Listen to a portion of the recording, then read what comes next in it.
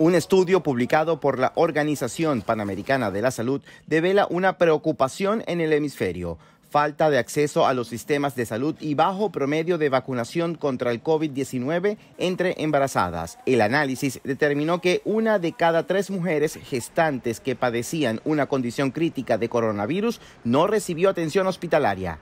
En los últimos dos años, más de 365 mil casos de COVID-19 se han registrado en mujeres embarazadas en las Américas y, tristemente, más de 3 mil de estas mujeres murieron.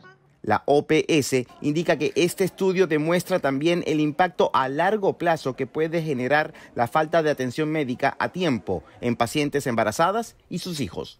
Las mujeres que tienen COVID-19 durante el embarazo tienen más probabilidades de tener eh, parto prematuro y nacimientos muertos en comparación con las mujeres que no tienen COVID durante el embarazo y pueden estar eh, más propensas a tener otras complicaciones del embarazo. El informe de la Organización Panamericana de la Salud registra un incremento de 40% de llamadas a servicios de emergencia por casos de violencia doméstica contra la mujer durante los últimos dos años. Por otra parte, la OPS contabiliza en la región un descenso sostenido de nuevos casos, 32% en disminución de infecciones en comparación a la semana anterior.